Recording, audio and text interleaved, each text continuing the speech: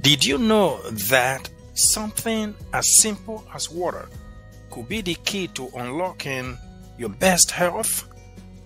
But here is the catch it's not just about drinking water, it's about drinking the right amount for you.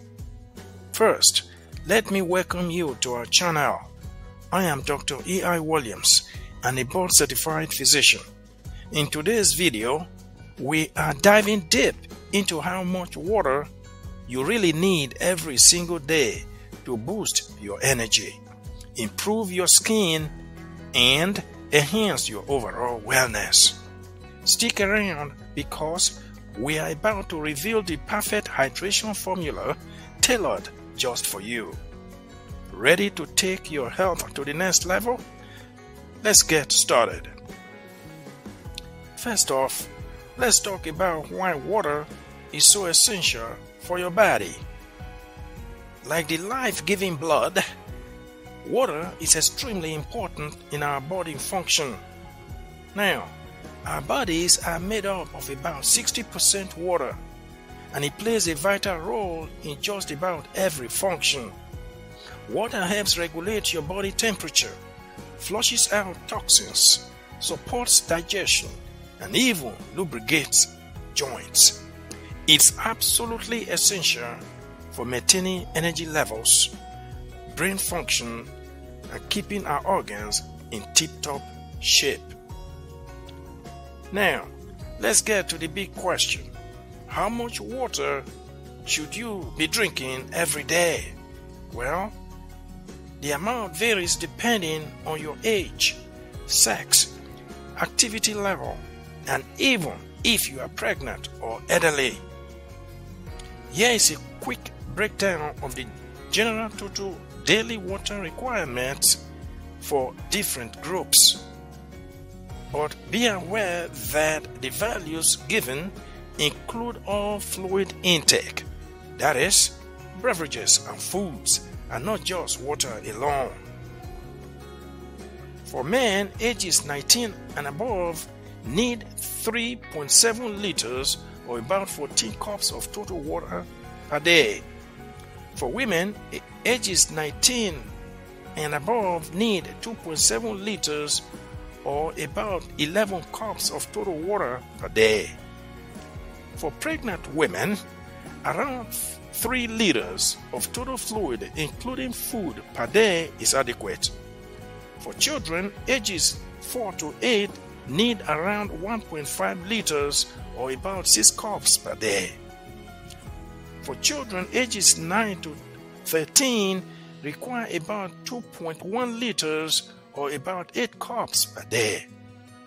For elderly men ages 65 and above, need about 3 liters per day with some individual variation.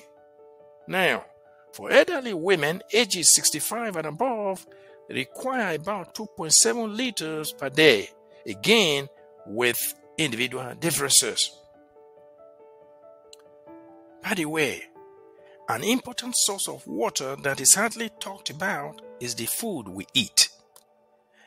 Did you know that a significant amount of your daily water intake can come from the food you eat? That's right, fruits and veggies are loaded with water. For instance, cucumbers, watermelons, oranges, and strawberries can provide up to 20% of your daily hydration needs. So, if you are munching on these throughout the day, you are contributing to your hydration without even realizing it. But don't forget, water is still your best friend when it comes to hitting your hydration goals. Now, let's tackle a common myth out there. Does drinking water while eating impair digestion?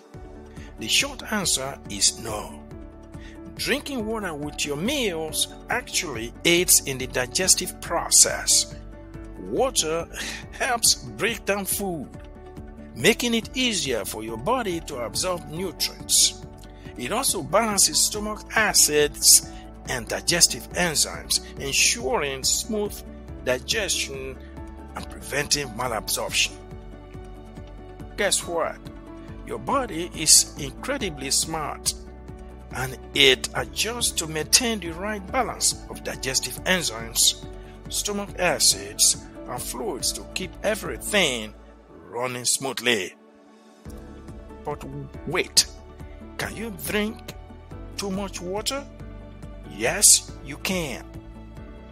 Overhydration is a real concern and it can lead to a condition called hyponatremia. This occurs when the sodium levels in your blood become dangerously low due to excessive water intake. It can result in symptoms like nausea, headaches, confusion, and in severe cases, seizure or even death. So, why staying hydrated is important is just as important not to overdo it. The key is balance. So, how do you know if you are drinking the right amount of water each day? Here are a few tips for keeping track. First, use a measured water bottle. Get a water bottle with markers to help you stay on track. Second, track with an app. There are tons of hydration tracking apps that can help you log your daily water intake, like Waterminder or HydroCoach. Third, set reminders. If you tend to forget, set hourly reminders to drink water throughout the day. By keeping track, you will know exactly how much you have consumed and how close you are to meeting your hydration goal. Now, there are moments when staying hydrated goes beyond just drinking water. It's about replenishing what's lost.